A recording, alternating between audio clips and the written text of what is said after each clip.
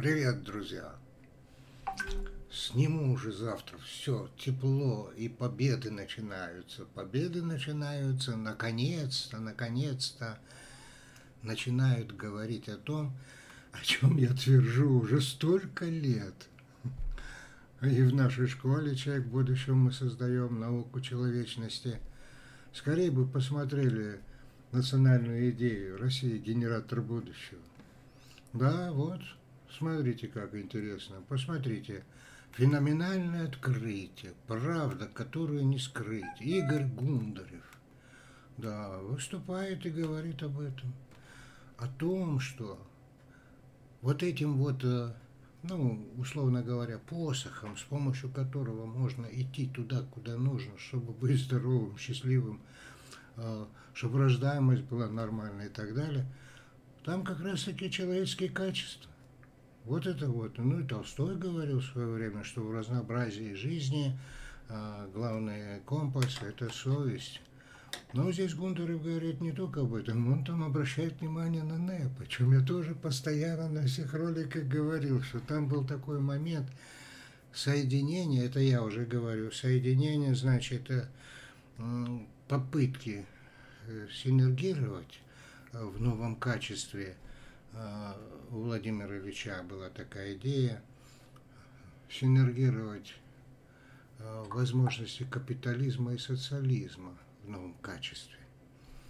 Вот. Но потом получилось так, что потом Ленин говорил о том, что люди были необразованы, и поэтому не хватило возможности сделать это правильно. Ну, потому что богатеть начали богатеть те, которые кучка людей богатеть, все остальные стали мешать, но вообще подъем был большой.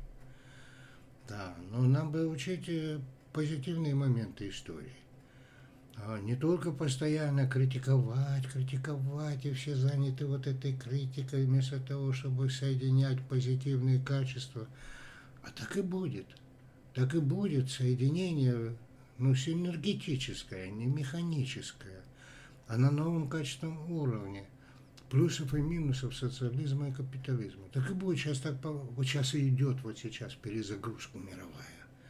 Вот эта вся пандемия показала, что все существующие институты, социальные и прочее, они не способны, они не способны. Уже наступает новый период, когда надо как бы перезагрузиться. Да, да. ну вот видите, и перезагрузиться можно правильно, качественно, сохранив человечность, сохранив. Только через человечность и можно сохранить разум на планете.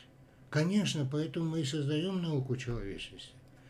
Мы непрерывно, непрестанно заняты определением понятий, что такое любовь, что такое сопереживание, что такое совместное творчество, созидание, чувство бесценности э, живого. Так это же надо определить, как в науке, потому что они расплывчатые. Из-за этого постоянные вот недопонимания друг друга и так далее. Ну, короче говоря, я вас, друзья, поздравляю. Да. Таким образом, завтра я надену уже легкую рубашечку. Да. А это я болтаю про рубашки, про галстуки, чтобы вам не скучно было. А то если я бы сейчас э, лекцию зарядил умную, э, да уже бы и кнопку нажали выключить. Ну а что я могу еще шутливого сказать? Улыбаюсь я вам, друзья. До встречи.